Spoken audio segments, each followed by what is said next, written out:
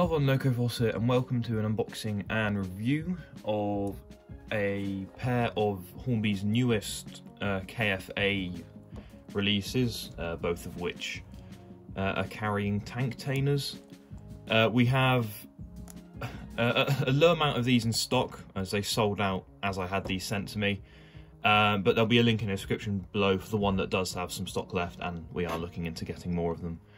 Um, so yeah, let's uh, just get started.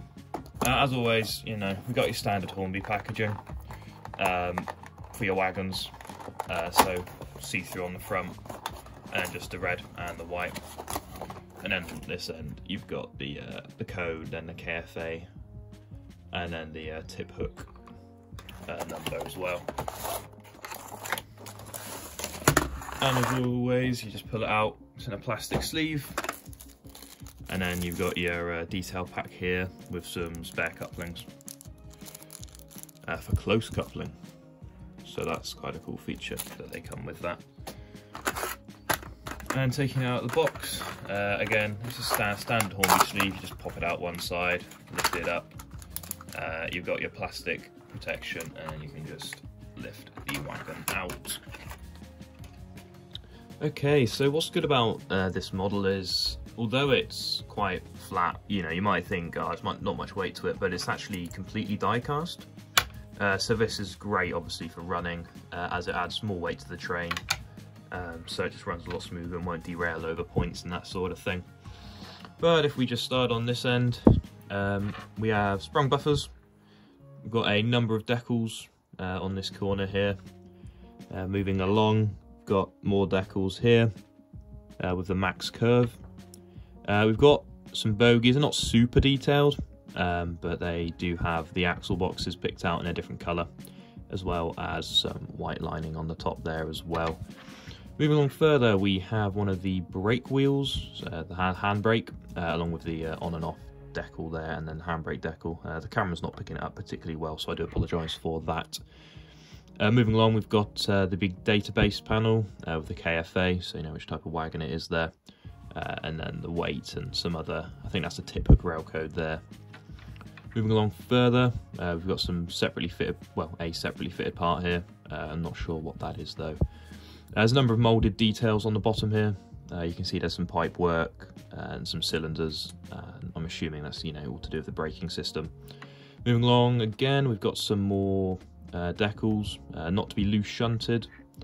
and then there's another data panel here. Uh, it's all completely legible, um, but my camera's decided that it doesn't want to focus today. Oh no, there we go. Um, okay, moving on further, we've got the uh, yellow Touax logo, uh, which is the Wagon Leasing Company.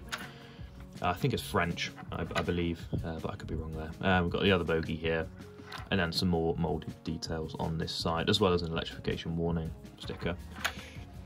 And again, we've got sprung buffers here. Now on the top, uh, you can see every so often there are these uh, pointy up bits and these are how you attach the containers onto the model or the tank containers even. Um, so they just they have holes in the bottom uh, which you then just fit on top like so.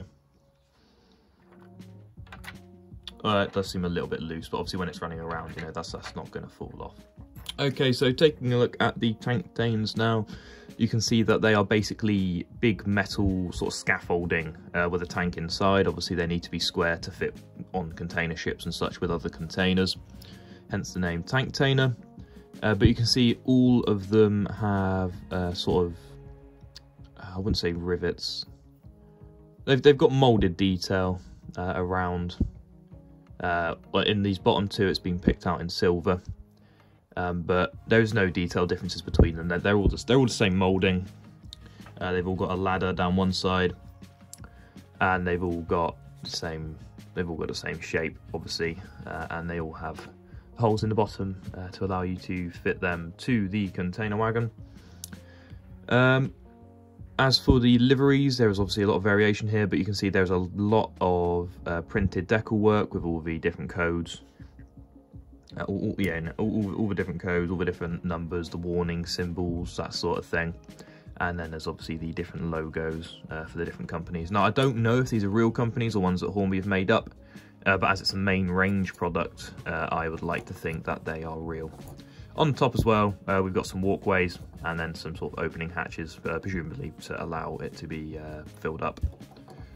On the end, we also have a number of more decals, or printed details, sorry, uh, with more logos, more warning symbols, and a lot more numbers.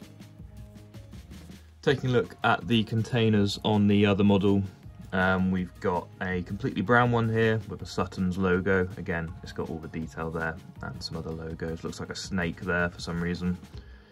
Uh, we've got a Stolt Tanktainers container, and then we've got a Eurotainer here, which looks quite nice. It's picked out in silver, looks very metallic. And obviously, uh, the detail on here is exactly the same, uh, except on the data panel there, it has a different number. So what do I think overall? Well, I think for the price, which is 38.95, I don't think they're too bad. I think um, for Hornby, these are pretty well detailed models. And obviously with the containers as well, I think the containers could easily be worth, you know, 9, 10 quid each really. Um, so to be honest, it's quite a good deal to get the wagon uh, and three containers uh, for that price. Uh, and they do look really, really good. And it is probably something I would look into getting myself. Uh, however, I think I'm, I'm all sorted for container wagons at the moment, but I would highly, highly recommend these. Um, but, but act fast because they are selling very, very rapidly. Uh, in the link below, uh, in the description, uh, I'll leave the link uh, to both of these products. However, only one of them is still in stock, so act very, very quickly because uh, they are selling very, very well. So I hope you've enjoyed this review. if you want to see more wagon reviews, then do let me know and I'll try and do some more. as well as that, uh, if you have any questions, obviously leave them in the description below and I'll do my best to answer them. And uh, yeah, hope everyone had a great Christmas and a great New Year and I'll see you guys in the next video. Goodbye for now.